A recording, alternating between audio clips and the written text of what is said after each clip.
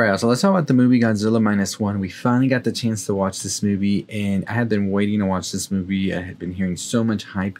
So many people were saying this is the movie to watch, this is the movie of the year. And I gotta say, they probably are right because I really do think this is definitely my top five possibly top three, could be the best movie of the year. You know, it's interesting because there is a time when you're making these lists and all of this, and then you're just like, well, I don't know if anything's to come out anymore, especially with a couple of weeks left in the year that's really going to top my top five.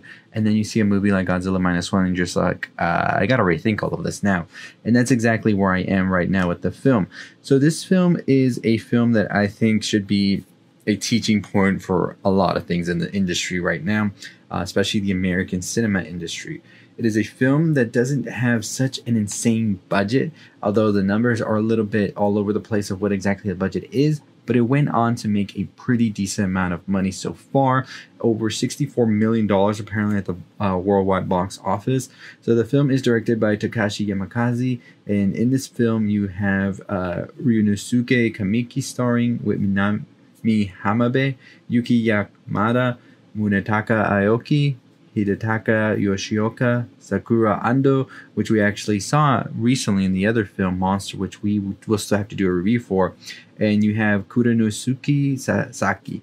And this film basically follows towards the end of World War II as we follow kamikaze pilot Nenkoichi, who pretty much is faking that he is having some troubles with uh, his plane and all of this, lands in Odo Island. And in Odo Island, we see Godzilla for the first time, a sort of smaller creature of sorts when we first see Godzilla. Eventually, we see as time progresses that Godzilla keeps returning, and we also see that things are about to get very, very bad in Japan. And so this film follows these characters as they sort of navigate these feelings of post war and dealing with a monster like Godzilla and everything that comes with that, which is going to be the aftermath that the monster leaves. Because as we know, Godzilla is a monster of radiation. Radiation, of course, left over once he begins terrorizing wherever he is. So if you survive that first spot with Godzilla, you still have that radiation, however, to deal with. And I really enjoyed how this film works in a way where the Godzilla story can be side. You know, like the Godzilla scenes are incredible, and I'll talk about them in a bit. But the human aspect story of it and the effects that the war had on Japan, especially a movie like this coming out right after Oppenheimer also came out. It is sort of like people say the spiritual successor of it because we do see the ramifications that the US did to Japan after dropping the war uh, bomb, which just neutralized everything in its path, and it's still something that has affected Japan to this day. It is really something to see a movie like Godzilla Minus One that sort of addresses all of those horrors that are left after a war, and I mean, it's just a timely um, release. I feel with everything going on in the world right now. Uh, but I really do think that the filmmakers, the actors, and everybody involved here just did an amazing job at really showcasing a story that is definitely going to be one of those stories I think people will keep coming back to. This is definitely, as Guillermo del Toro says, top three, top two Godzilla movies of all time because I was not expecting to be like crying during this film, honestly, when I first heard about it. And I'm not knocking any other Godzilla movie. I do enjoy all of the Godzilla movies. I think they offer something different when it comes to all of that. I really do think that the Godzilla movie, like Godzilla vs. Kong, that's coming out next year, I'm hyped. I'm ready to see that film. But that's a whole other type of film for me. And I know what I'm getting into with that, where this can be its own film as well and still work just as good. So I'm not saying or knocking any of the Godzilla movies out. I'm just saying that this is a different Godzilla movie than I was used to, and it definitely shows that. So this is going for best visual effects apparently at the 96 Academy Awards, and I definitely see it. There are some moments in here when Godzilla begins to come out of the water or is just moving through certain buildings all of that. It's just insane how was this accomplished. And i think something that was so amazing as well here is that they use a lot of callbacks to the original film especially the score when godzilla first appears. Oh man. I think that is one of the best moments of the year so far just an incredible incredible sight to see. This was a film I said I have to see that on the big screen. I'm not watching this at home for the first time. Like I'll still watch it, but I need to see it on the big screen for the first time. And I think it is just incredible to see.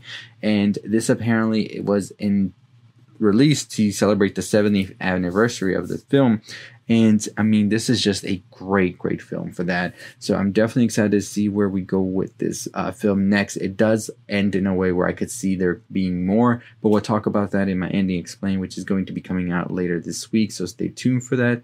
But overall, I think Godzilla Minus One is one of those films that is going to be looked back on as a sort of turning point for cinema because I don't see us not seeing this film and being like, okay, let's keep doing how we were doing. No, this is a film that's here to teach and make a movement that is going to be everlasting. So I'm excited to see what everybody thinks. Overall, we love the human story of it. We thought the acting was great, the filmmaking was incredible, the cinematography, the camera work, all of that. The monster scenes with Godzilla were just breathtaking, and we give Godzilla a 5 out of 5. One of our 5 out of 5 movies of the year, and we definitely have put this on our top 5 for sure.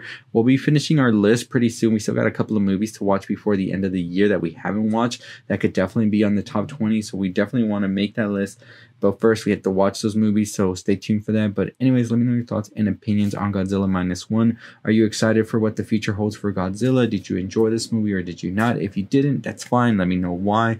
And yeah, that's going to do it for me. We are running giveaways on our Instagram channel all throughout the end of the year. So, if you want to enter that, make sure you go over there on our Instagram follow us and turn the notification on because we will be starting one giveaway this week and another one next week. Two big giveaways before the end of the year, which will be these prize packages, which will include movies, posters, other movie stuff, and all that good stuff. So make sure you are tuning into that.